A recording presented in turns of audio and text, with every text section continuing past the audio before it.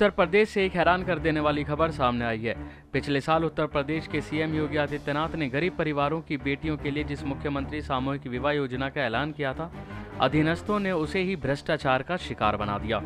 योजना के तहत दुल्हनों को जो गहने दिए जा रहे हैं, वह नकली निकल रहे हैं।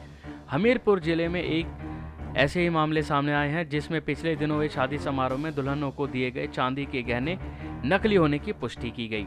इस मामले में हमीरपुर की हिमांशी और राहुल की शादी कराई गई थी। मंडप में प्रशासन की ओर से दुल्हनों को उपहार दिया गया। इस जोड़े को नगर पंचायत समेरपुर ने चयनित किया था। इस दंपति ने नकली पायल दिए जाने की शिकायत की। उसने जिलाधिकारी को भी इस मामले की शिकायत कर आरोप लगाया कि उसे जो चांदी की पायल दी गई है, वह नकली है। एक नहीं दो दो सुनारों ने उसकी पुष्टि की है कि पायल गिलट की है। तो वहीं ज़िले के सुमेरपुर की नवीन गल्ला मंडी परिसर पर 11 दिन पहले मुख्यमंत्री सामूहिक विवाह योजना के तहत तिरसठ जोड़ों की शादी कराई गई थी, जिसमें यह गहने इन्हें वितरित किए गए थे। अब इस मामले में एसडीएम सदर ने जाँच शुरू कर दी है। एसपीएन नाइन न्यूज़ रूम की रिपोर्ट।